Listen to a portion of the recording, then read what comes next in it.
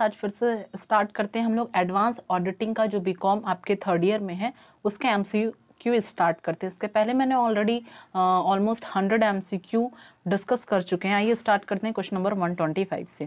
पहला क्वेश्चन कहता है आंतरिक अंकेक्षण का उद्देश्य है। इंटरनल जो ऑडिट होता है उसका क्या ऑब्जेक्टिव होता है? पहला है कर्मचारियों का नियंत्रण बी है व्यापार का मूल्यांकन सी अंकेक्षण पर नियंत्रण और डी उप, उक्त में से कोई नहीं।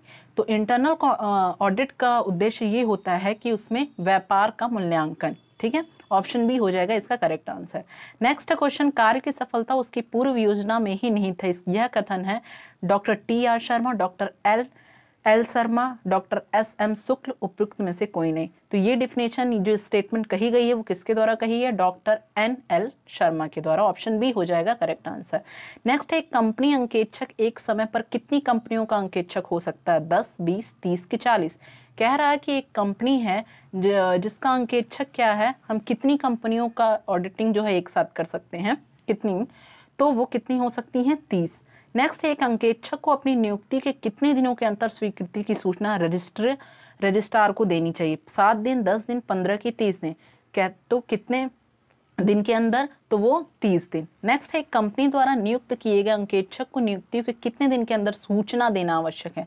वहाँ पूछा था कि रजिस्ट्रार को देनी चाहिए और यहाँ पूछ रहा है कि सूचना, नोटिस कितना देने, देना आवश्यक है? तो सात, चौदह, इक्कीस की तीस। तो कितने दिन? सात दिन ऑप्शन ए हो जाएगा करेक्ट आंसर अंकेक्षण प्रारंभ करने से पूर्व अंकेक्षक को नियोक्ता को कौन कौन से निर्देशक देने चाहिए? ए है प्रारंभिक लेखों की समस्त पुस्तकों के जोड़ लगाकर, उन्हें शेष आगे ले जाए। समस्त लेन देनों से संबंधित प्रमाणक व्यवस्थित करना, विनियोग की सूची, उनकी लागत व बाज़ार मूल्य की सूची, एंड डी है उपयुक्त सभी। तो अंकेक्षण जो है प्रारंभ करने से पहले नियुक्ति कौन कौन से निर्देश देने चाहिए? तो उपयुक्त में से सभी हो जाएगा, ऑप्शन डी इसका करेक्ट आंसर हो जाएगा। नेक्स्ट, अंकेक्षक, अंकेक्षण प्रारंभ करने से पूर्व निम्नलिखित में से किस बात का ध्यान रखा जाना चाहिए? ए, संस्था संबंधी जानकारी, अंकेक्षण की अवस्था, आवश्यकता, अंकेक्षण की अवधि की उपयुक्त सभी। तो आरंभ करने से पहले हमें क्या होना चाहिए? आ, संस्था की भी जानकारी रखनी चाहिए उसके इंपॉर्टेंस की भी और उसकी अवधि की इसलिए ऑप्शन डी हो जाएगा उपयुक्त सभी। ऑडिटिंग के मेरे मेरे चैनल पे सारे थ्योरी बैचेस जो हैं लेक्चर्स हैं अपलोड हैं कि ऑडिटिंग क्या होती है ऑडिटिंग ऑब्जेक्टिव क्या है उसके इंपॉर्टेंस क्या है क्यों की जाती है ये सारी डिटेल में वीडियो आपको कॉन्सेप्ट क्लियर हो जाएँगे उसे जाकर ज़रूर देखिए। नेक्स्ट है, जाँच की एक लोचदार योजना वृद्ध रीति की अंकेक्षण कार्यक्रम कहलाती है। ऑडिटिंग प्रोग्राम पे भी हमारे चैनल्स पे वीडियोस पड़े हैं, उसे भी। यह कथन है Walter W Wigg Arthur W Holmes Spicer एवं पैगलर की होमजार्ड स्टेटलर तो ये स्टेटमेंट जो दी गई है, ये डिफिनेशन किसके द्वारा दी गई है? बी ऑर्थर डब्ल्यू होम्स के द्वारा दी गई है। नेक्स्ट क्वेश्चन नंबर कहता है अंकेक्षण कार्यक्रम का मुख्य उद्देश्य श्रम की बचत, संस्था के मित्रत्व प्राप्त करना सी है समय की दृष्टि से कर्मचारियों में कार्य विभाजन करना और कार्यों की सहयोगी के मध्य उनकी योग्यता के अनुसार इस प्रकार विभाजित करना कि कोई कार्य छूटे ना। तो बेसिकली ऑडिटिंग प्रोग्राम का मेन ऑब्जेक्टिव पूछा तो ऑप्शन डी हो जाएगा इसका करेक्ट आंसर कि कार्यों को सहयोगी के मध्य उनकी क्वालिफिकेशन उनकी योग्यता के अनुसार योग्यता के अनुसार क्या करना, उनको डिवाइड करना कि कोई कार्य क्या हो उससे छूटे ना। नेक्स्ट है, अंकेक्षण कार्यक्रम होना चाहिए। लिखित, मौखिक, लिखित व मौखिक उपयुक्त में से कोई नहीं। ऑडिटिंग जो कार्यक्रम होता है प्रोग्राम होता है, वो कैसा होना चाहिए? रिटर्न होना चाहिए तो ऑप्शन ए हो जाएगा लिखित।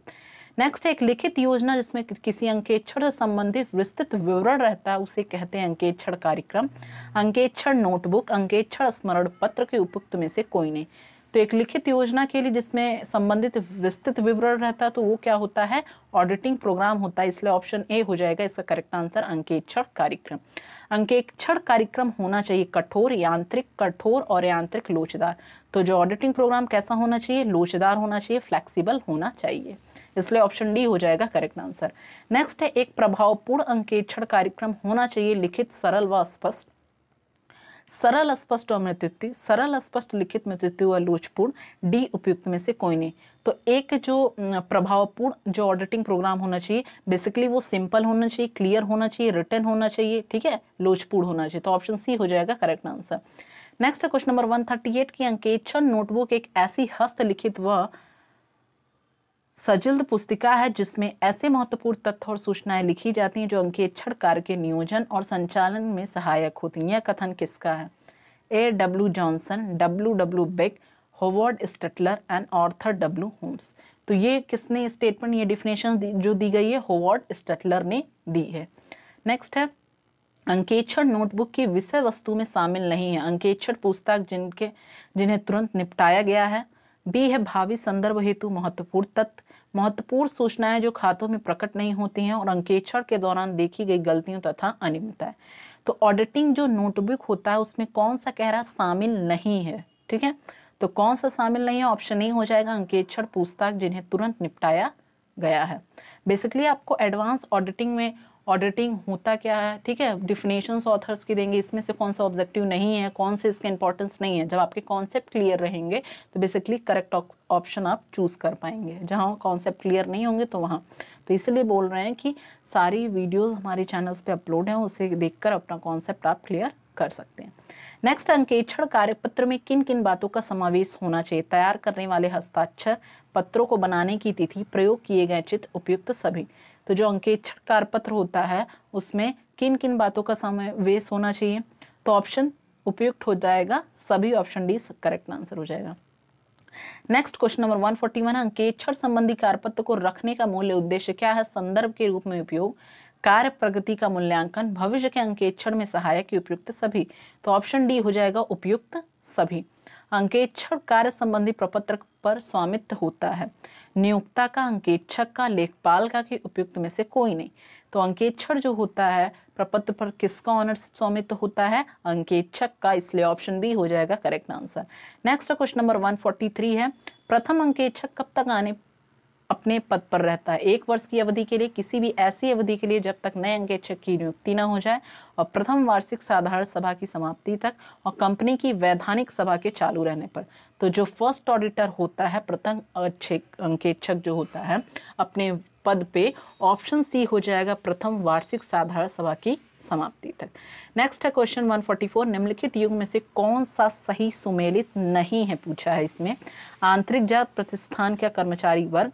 आंतरिक अंकेक्षर चार्टर्ड लेखपाल लेखपालक लागत अंकेक्षण, लागत लेखपाल या चार्टर्ड लेखपालक औचित्य अंकेक्षण भारत का नियंत्रक एवं महालेखा परीक्षक। तो ऑप्शन बी हो जाएगा आंतरिक अंकेक्षर चार्टर्ड लेखा पालक। ऑप्शन बी हो जाएगा correct answer next question number 145 है। बैलेंस शीट ऑडिट उपयोगी होता है जब व्यवसाय बड़ा हो, आंतरिक जाँच कमज़ोर हो, व्यवसाय छोटा हो, उपयुक्त में से कोई नहीं।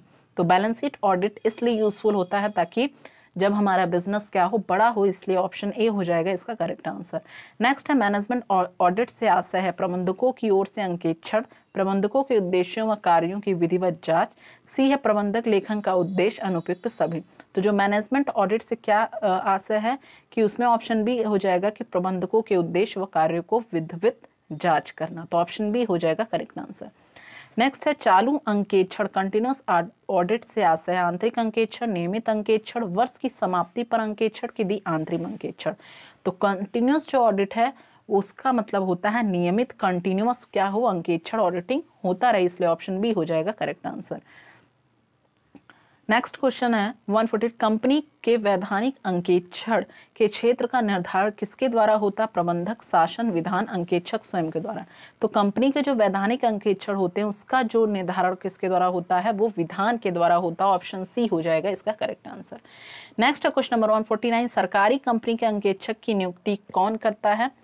तो सरकारी कंपनी के अंकेक्षक की नियुक्ति जो करता है अंशधारियों द्वारा, संचालक मंडल द्वारा, भारत के महालेखा परीक्षक की अनुशंसा और केंद्रीय सरकार द्वारा के लेनदारों द्वारा। तो गवर्नमेंट जो कंपनी होती है, उसकी नियुक्ति कौन करता है? ऑप्शन सी हो जाएगा भारत के महालेखा परीक्षा की अनुशंसा अनुशंसा पर केंद्रीय सरकार द्वारा। वर्तमान में अंकेक्षण का मुख्य उद्देश्य है त्रुटियों एवं छल कपटों का पता लगाना, वृत्ति विवरणों का मूल्यांकन करना गढ़ती शुद्धता की जाँच करना और तीसरा उपयुक्त में से कोई नहीं।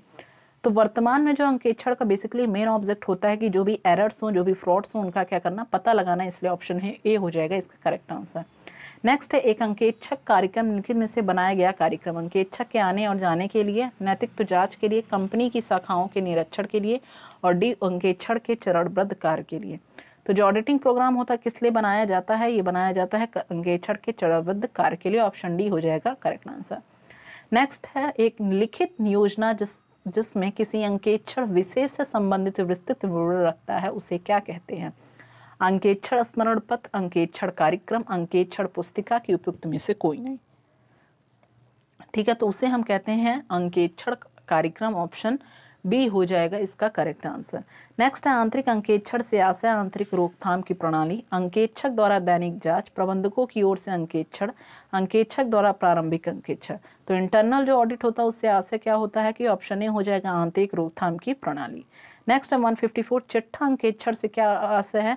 तो चिट्ठों की मदों का अंकेक्षण, अंतिम खातों का अंकेक्षण, लेखा का नियमित वार्षिक अंकेक्षण की चिट्ठे की पूर्व तैयारी हेतु पुस्तकों का अंकेक्षण। तो चिट्ठा अंकेक्षण से आशय है कि चिट्ठे के जो मदों का है, उनका अंकेक्षण करना, इसलिए ऑप्शन ए हो जाएगा करेक्ट आंसर नेक्स्ट है कोई चार्टर्ड अकाउंटेंट किसी कंपनी का लेखा परीक्षक होने के आयोग नहीं है। यदि वह कंपनी का एक कर्मचारी है उस कंपनी का प्रबंध संचालक है, उस कंपनी को एक हज़ार रुपये का रड़ी है और उस कंपनी का अंशधारी है। तो अगर कोई चार्टर्ड अकाउंटेंट है तो इसमें से नहीं पूछा है तो ऑप्शन डी हो जाएगा उस कंपनी का क्या है? अंशधारी है। Last question of the day है, लागत अंकेक्षण में शामिल है। ए स्टोर से हम अतिरिक्त पूंजी पूजों का अंकेक्षण बी है सामग्री, श्रम व्यव का अंकेक्षण, चालू मार्ग का अंकेक्षण उपयुक्त सभी का। तो लागत अंकेक्षण में क्या शामिल है पूछा है? तो उसमें ऑप्शन डी करेक्ट हो जाएगा क्योंकि उसमें स्टोर सामग्री लेबर श्रम क्या है? सारी चीज़ें इन्वॉल्व रहती हैं, इसलिए ऑप्शन डी हो जाएगा करेक्ट आंसर आई होप आप लोग को ये क्वेश्चन समझ में आए होंगे। और इसे जितनी बार रिवाइज करें आप वो उतना सही आई होप यू आप लोग को समझ में आया होगा। Okay thank you